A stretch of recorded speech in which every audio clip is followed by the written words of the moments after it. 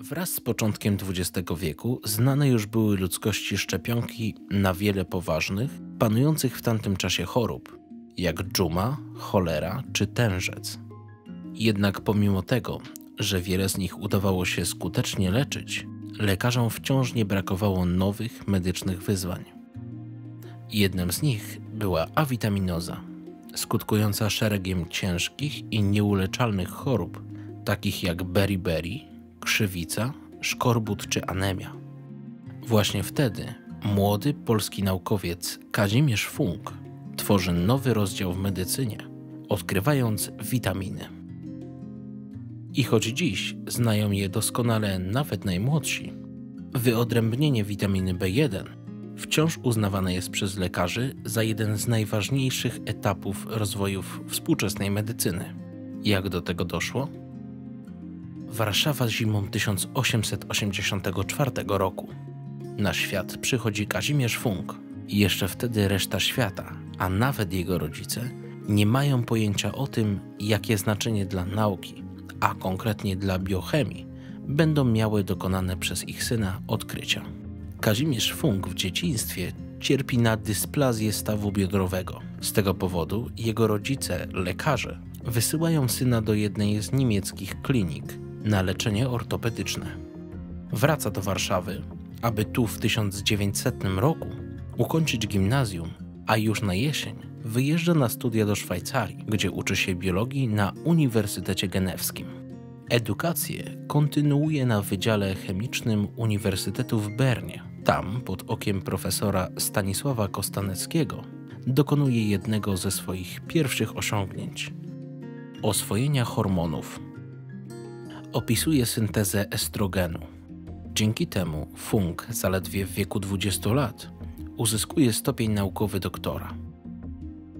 Lata 1904-1906 spędza na pracy w Instytucie Pastera w Paryżu, który tym samym staje się już trzecim z kolei krajem przez niego zamieszkiwanym. Kazimierz Funk przenosi się do Berlina, gdzie przez 4 lata bacznie przygląda się efektom psiej diety. Młody doktor już wtedy podlega własnym przypuszczeniom, że w pożywieniu poza białkiem, tłuszczem, minerałami i węglowodanami kryje się coś jeszcze. Jednak na pytanie, co to takiego, odpowiedź znajdzie dopiero rok później w Londynie.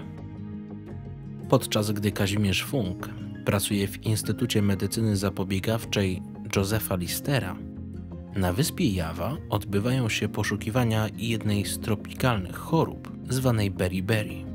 Beriberi to choroba układu nerwowego, której przyczyną jest niedobór witaminy B1. Naukowcy podejrzewają, że przyczyną choroby może być oczyszczony ryż, podawany pacjentom jako główny posiłek. Udowadnia to eksperyment holenderskiego lekarza Eichmana, przeprowadzony z udziałem kurcząt, gdy ptaki karmione tym właśnie ryżem ulegają paraliżowi.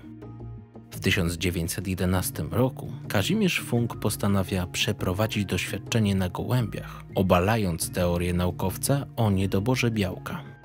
Z otrębów ryżowych wyodrębnia nieznaną jak do tej pory substancję zawierającą azot.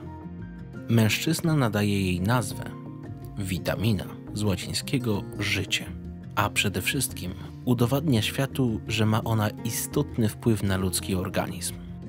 Kazimierz Funk przypuszcza, że brak w pokarmie nawet bardzo małych ilości witamin prowadzi do różnych chorób, jak na przykład wyżej wymienionej beriberi, powodującej powiększenie serca, zapalenie wielonerwowe z porażeniami, obrzęki czy zaburzenia trawienia.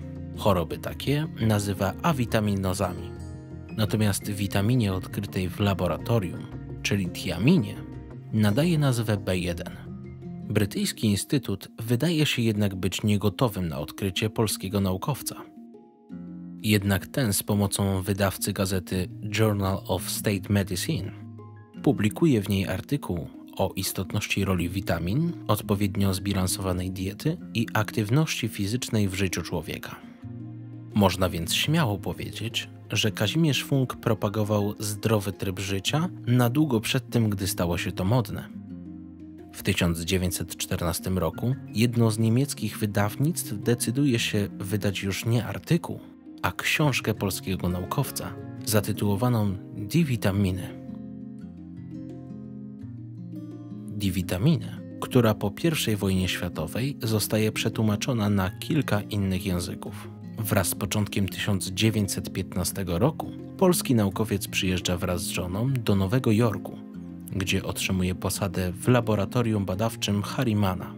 Warunki pracy jednak nie są zbyt zachwycające, a jego wynagrodzenie niestabilne. W tym samym czasie również i zdrowie mężczyzny ulega pogorszeniu. Mimo to decyduje się on kontynuować prowadzone badania w firmie chemicznej Calco oraz firmie farmaceutycznej Meds Company. Jak się później okazuje, słusznie, ponieważ udaje mu się ulepszyć lek zwalczający syfilis, który ze względu na to, że jest uznawany za chorobę epidemiczną, stanowi w tamtych czasach szczególne zagrożenie. Ponadto również za sprawą Kazimierza Funka na rynek farmaceutyczny trafia koncentrat witaminowy z wątroby dorsza, czyli tran. Wraz ze wzrostem stanu konta naukowca rośnie też jego ambicja do dalszych odkryć. Mimo iż w 1920 roku naukowiec wraz z rodziną otrzymuje obywatelstwo od Amerykanów, decyduje się wrócić wraz z nią do swojej niepodległej już w tamtym czasie ojczyzny. Kazimierz Funk niejednokrotnie podkreśla bycie Polakiem. Wcześniej nie zgadza się na narodowość niemiecką, mimo świadomości, że mogłoby to znacznie przyspieszyć jego naukową karierę. W Polsce Kazimierz Funk obejmuje kierownicze stanowisko w warszawskim zakładzie biochemii w PZH. Państwowy Instytut Badawczy zajmujący się zagadnieniami higieny, epidemiologii, bakteriologii, immunologii i parazytologii. Prowadzi zarówno prace naukowe, jak i usługowo-badawcze. Od 2007 roku nosi nazwę Narodowego Instytutu Zdrowia Publicznego. Powołany został przez wspomnianego już wcześniej Reichmana. Uzyskuje również fundusz grantowy z Fundacji Rockefellera jednak decyduje się na zakup aparatury insulinowej z własnych pieniędzy. Polska staje się trzecim na świecie producentem tego hormonu. Na wskutek dynamicznego rozwoju badań Funk nie przestaje podróżować. We Francji nawiązuje krótką współpracę z firmą produkującą szczepionki, a następnie buduje swój własny kąt do badań nad hormonami żeńskimi i męskimi. Szerzy też wiedzę na temat prawidłowego odżywiania odkrywając też kolejne witaminy B3 na nerwy oraz B12 na anemię. Po wybuchu II wojny światowej przenosi się za ocean, gdzie pełni funkcję dyrektora Fundacji Funka do badań medycznych. Życie Funka kończy się w wieku 83 lat na wskutek choroby nowotworowej. Co ciekawe, ostatnie lata swojego życia naukowiec poświęca poszukiwaniom przyczyn właśnie chorób nowotworowych.